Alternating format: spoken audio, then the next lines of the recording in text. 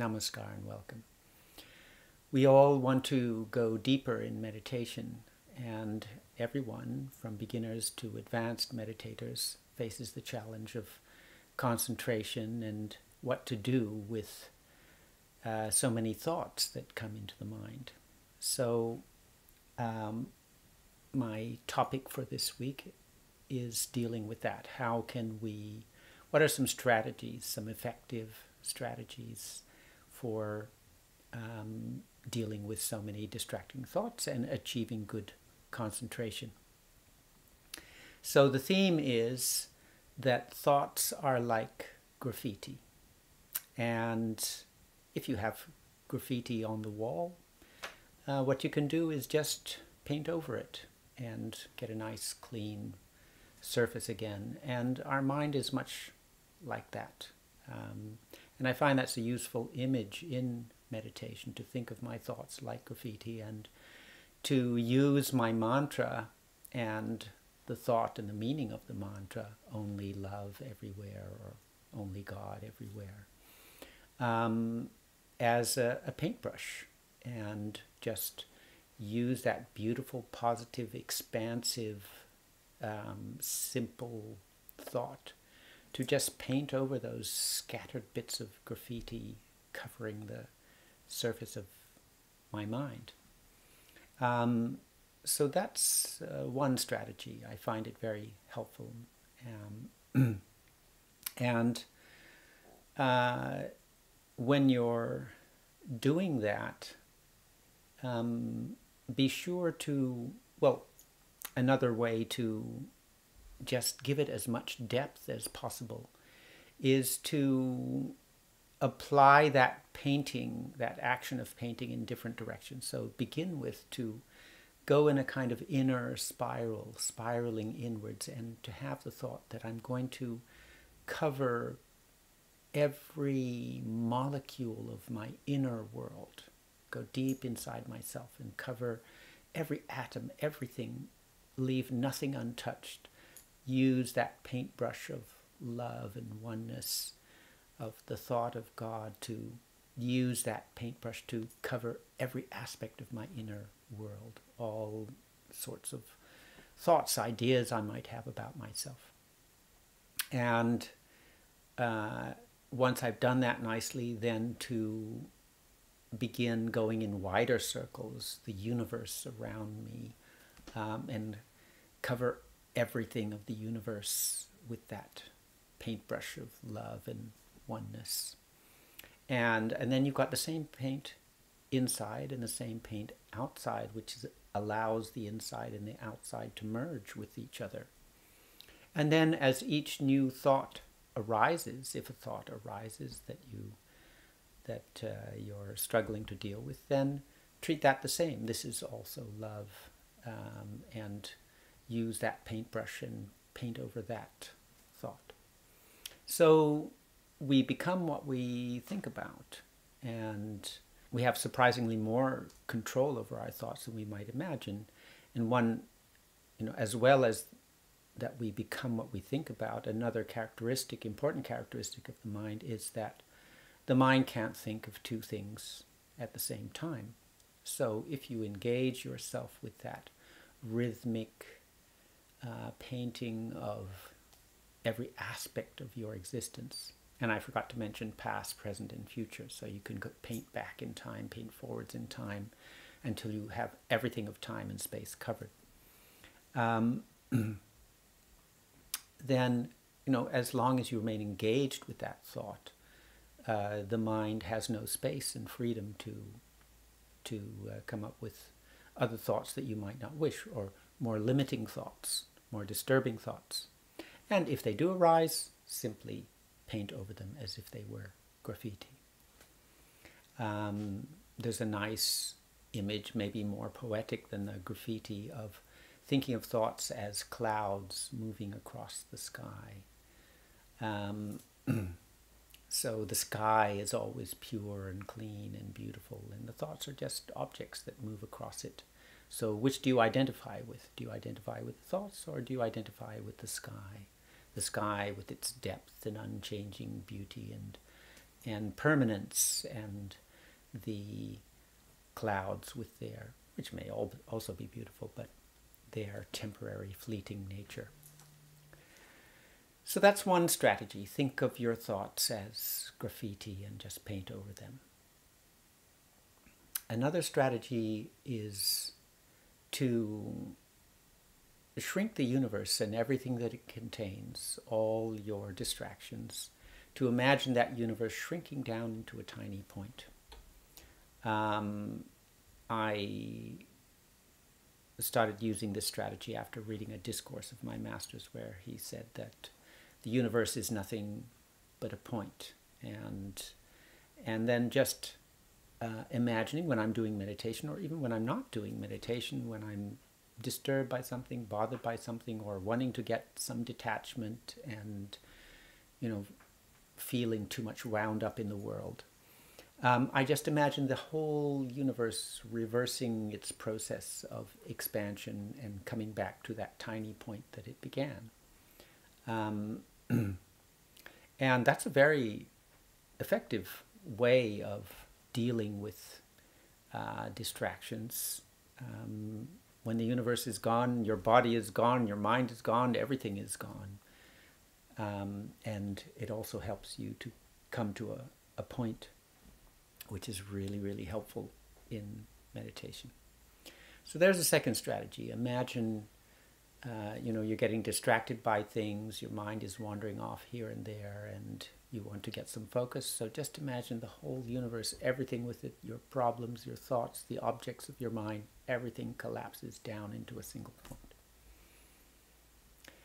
And the third strategy, and one that has come to me fairly recently, and I'm really enjoying using at the moment, is I use it in two ways. It's, it's imagining everything becoming transparent. So when a thought arises, imagine that object of your thinking slowly becoming transparent and disappearing. Um, so each new thought uh, that arises, uh, as you you know find yourself caught in it, then make it transparent, and as it uh, becomes transparent, then it stops blocking your vision of the infinite right? So that's what we're trying to focus on. We're trying to focus on the infinite and some thought comes up and blocks that. So imagine that thought gradually becoming transparent and disappearing and then your um, clarity of vision is now again perfect um, there's a good meditation where you imagine yourself as a bowl, like a fish bowl full of water, and there's dust in the water, and slowly that dust settles down, and the water becomes completely clear and transparent, and your mind is like that. So you can use this image of your thoughts becoming, or the objects of your mind becoming slowly transparent and disappearing in the same way. So what's left when they become transparent is clarity and transparency. Everything is clear and transparent. So that's um, a very effective and also extremely enjoyable, and I'm using it a lot right at the moment. Um, but this approach has other an, another way that it can be used, and that is to um, use it as a practice in detaching yourself from your environment and from your body and moving inwards to your being right? So we we when we are our thoughts are engaged with our environment that engagement holds us caught up there and, and makes us less able to feel our own being Similarly, when we're engaged with our physical senses, we don't get you know that engagement because the mind can't be busy in so many areas at once. That engagement with the senses um, keeps the mind away from being able to just sense its own being. Um, so use this idea of things becoming transparent as a means of detachment. So think of the vast universe around you. Imagine it slowly becoming transparent and disappearing. Think of your body which surrounds you. Maybe you're concentrating in, in a chakra. Um, think of the body which surrounds your chakra, the universe which surrounds your chakra as slowly becoming transparent and disappearing. And when it's gone, there's just your point of being, your chakra. And you can even imagine that becoming transparent until what is left is an unbroken ocean of transparency. So I find that one very effective and enjoyable. And as each new thought arises, um, make it transparent. And uh, all of these techniques evolve as you use them. And uh, what came to me just today, in fact, was that because I've been doing it fairly regularly, um, making everything around me transparent, uh, as I do that, it feels like it's a kind of fade in and fade out or a like when you're making a video you transition between one seed and another and one scene one scene and another. And as you transition the the scene gradually fades out and a new scene fades in. So when you practice this imagining the universe around you becoming slowly transparent and everything transparent your body yourself it's like that kind of transition in a video the world that you were looking at is a particular worldview. It's a way of looking at reality, and slowly it just shifts and morphs and transitions into this clear transparency, which is another deeper way of looking at the same reality. You're looking at the essence, at the beingness, at the substance, the source of the universe, rather than its external manifestations. And as you practice that, uh, you know, making everything transparent and disappearing, it gives you this feeling that you have the ability to kind of shift from one worldview slowly and morph into the other, back and forth. And it's like you. And uh, so that was just something that, you know, came to me in, in, in my meditation today because I've been using that practice for a while. And so that's the third major practice. Imagine your thoughts becoming transparent and disappearing, the world, your body, your chakra, and leaving only an unbroken ocean of transparency. And then finally, there's the time element. Um, I've said this on other occasions. Returning, um, not getting, you know, thoughts are going to come. Uh, that's inevitable. And so one shouldn't get worried about it. Uh, just have a very matter of fact approach to, okay, uh, return to my object, return to my chakra, return to my mantra. Keep coming back, keep coming back keep coming back. And imagine yourself returning and returning and returning for millions of years.